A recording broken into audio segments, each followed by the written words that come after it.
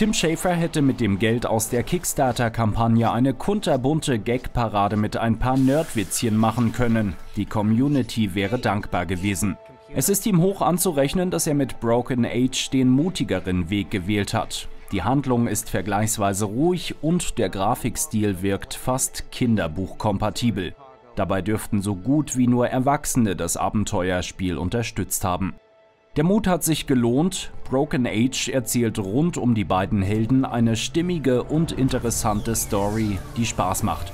Trotz der unterschiedlichen Handlungsstränge wirkt das Programm wie aus einem Guss und es macht einen beträchtlichen Teil der Spannung aus zu erfahren, wie die beiden Geschichten zusammenfinden. Broken Age entwickelt sogar eine Art Flow. Es geht ohne die genreüblichen Durchhänger stetig voran. Sogar der nur noch 5-Minuten-Effekt stellt sich ein, für den Programme sonst schwerere Geschütze auffahren müssen.